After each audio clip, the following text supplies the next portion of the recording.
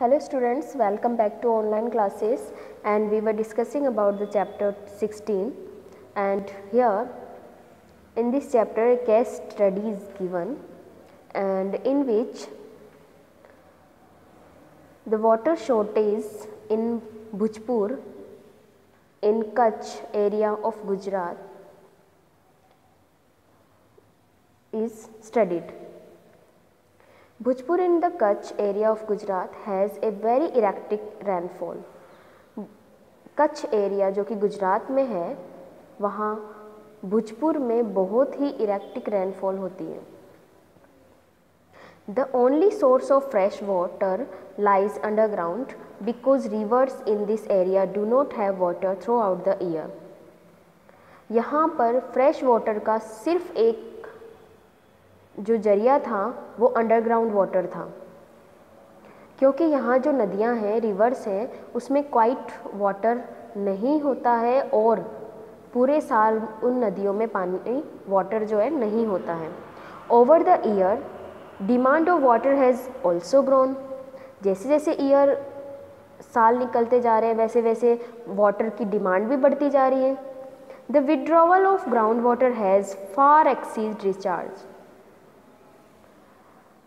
water ground water को लगातार जो है वो विड्रॉ किया जा रहा है मीन्स निकाल कंटिन्यूसली यूज़ में लिया जा रहा है। As a result the water table has gone down alarmingly और इस वजह से वाटर टेबल बहुत तेज़ी से नीचे जाता जा रहा है।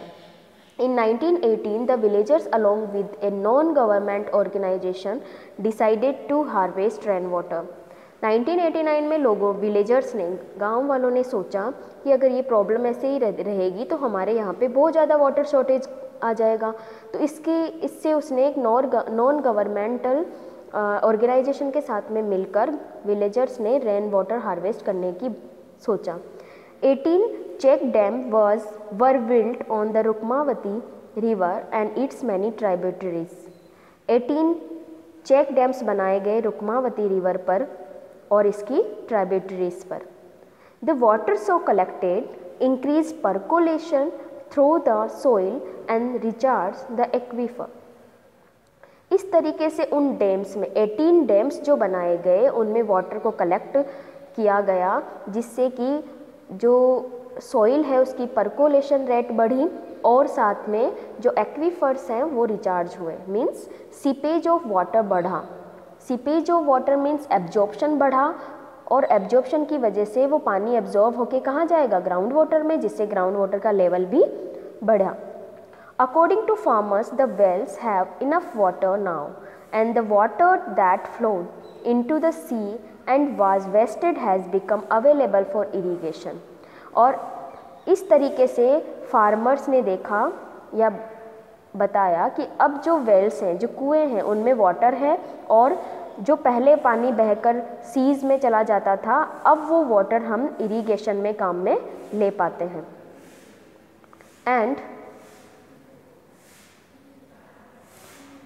what role you can play आप क्या रोल प्ले कर सकते हो? Have you ever shown concern if you saw a tip tap leaking in your house school और एनी अदर प्लेस आप लोगों ने अपने घर स्कूल और अलग जगहों पर, दूसरे जगहों पर जो टैप है उसको लीक होते हुए देखा होगा। Leaking taps waste a lot of water. Taps का लीकिंग होना, अगर वो ड्रॉप ड्रॉप करके भी लीक होती है तो भी बहुत सा वाटर जो होता है पूरे दिन में वेस्ट हो जाता है। You must make efforts to stop this leakage आप लोगों को एफर्ट्स करने चाहिए ताकि ये जो लीकेज है वो स्टॉप हो जाए। There are a number of ways you can adopt to minimize the wastage of water आपके पास बहुत सारे तरीके हैं ताकि आप वेस्ट पानी को वेस्ट होने से बचा सकते हो। और हमने इस चैप्टर में उनके बारे में बात करी है और आप अगर उनको फॉलो करते हो तो हम वेस्टेज जो वाटर का होता है उसको रोक सकते हैं। कुछ अच्छी हैबिट्स जो हमें अपनानी चाहिए that is turn off taps while brushing हमें ब्रश करते समय अपनी टैप्स को बंद कर देना चाहिए। जो वाटर है, वो कंटिन्यूसली उसमें से बहेगा नहीं। Mop the floor instead of washing हमेशा हमें जो हमारे घरों में फ्लोर्स होते हैं, उनको वॉश करने से बेटर है कि हम उसको मॉपिंग करें, उन पर पोछा लगाएँ। If next is effect of waste scarcity on plants कि किस तरीके से वाटर स्कारसिटी का इफ़ेक्ट होता है प्लांट्स पे, यानी कि वाटर की कमी की वजह से प्लांट्स पर क्या इफ़ेक्ट पड़ता है?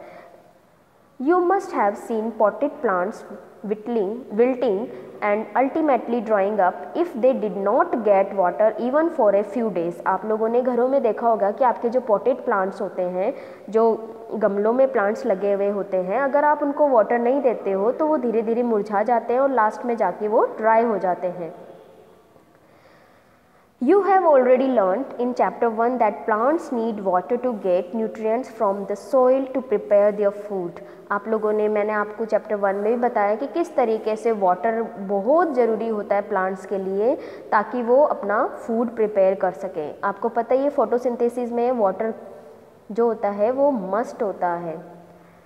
Just imagine the consequence if water is not available for plants आप एक इमेजिन कीजिए कि अगर आप लोगों को पता ही आपने अपने आस पड़ोस में बहुत से प्लांट्स को देखा होगा ट्रीज़ को देखा होगा अपने स्कूल में भी देखा होगा। अगर उनको कंटिन्यूसली इरीगेट नहीं किया जाए पानी नहीं दिया जाए तो धीरे धीरे क्या हो जाएँगे? आ, सूख जाएँगे ड्राई हो जाएँगे।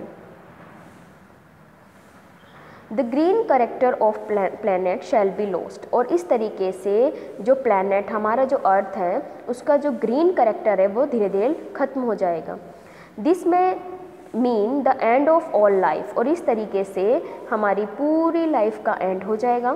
For a world without plant shall mean no food no oxygen not in a friend and innumerable other problems earth पर प्लांट्स ना होना, इसका मीन्स है लाइफ ना होना।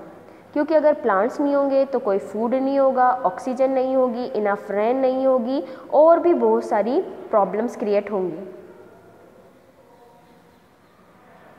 इन राजस्थान। राजस्थान में एक इनिशिएटिव लिया गया बहुत अच्छा जिसके बारे में यहाँ बताया गया है। Rajasthan is a hot and dry place आपको सबको पता है आप लोग सब राजस्थान में रह रहे हो। यहाँ पर बहुत तो गर्मी पड़ती है और बहुत ही ड्राई प्लेस है, है ये।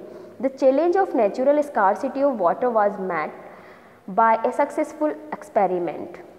A band of social workers has transformed a dry area in the Alwar district into a green place.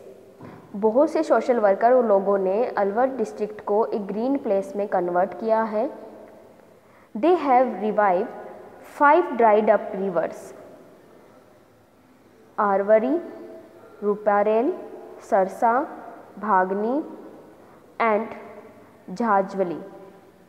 By constructing water harvesting structure और किस तरीके से अलवर को उन्होंने ग्रीन सिटी में डेवलप किया है?